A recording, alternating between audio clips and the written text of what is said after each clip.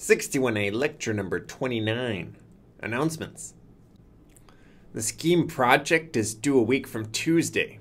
Checkpoint 1 is due today. Checkpoint 2 is due next Thursday. You can get an early submission bonus point by finishing a week from Monday. The faster you can get started on Scheme, the better.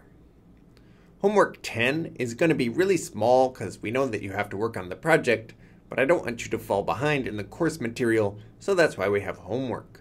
It'll be due next Thursday. Also, we've released Ants composition scores. If you want to revise those, you can do that by next Friday. Today's lecture will describe the second extra credit problem that's available on the Scheme project. And it's one of my favorite features of the Scheme language.